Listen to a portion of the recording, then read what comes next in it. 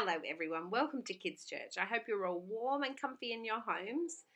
Today we are reading another psalm. So if you want to turn right to the middle of your Bible, we'll turn to Psalm 131, which is a very short psalm. And it's a song that King David wrote about how he was feeling at the time and describing to us how we can feel that way too. He says he was feeling content. So do you know what content means? Let's ask the Conity kids. I can't remember. It means you don't get worried. Mean. It means to feel happy and satisfied. That's right, Conities. It means to feel satisfied. It means you aren't worried or anxious. It means you're not looking for something else to make you feel happy. It means you're feeling quiet and still on the inside, peaceful. At the moment, there are lots of worrying things going on, and the world feels like a bit of a scary place. We're in lockdown, which means we can't go to church and be together. We can't go to school or the park or play sport or do lots of the things that we love.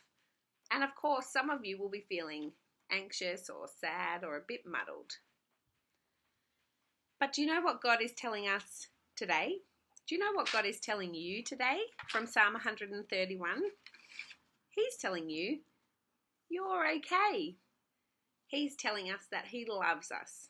He's telling you that He loves you. He loves you so, so, so, so much. And He's reminding us that we can trust Him.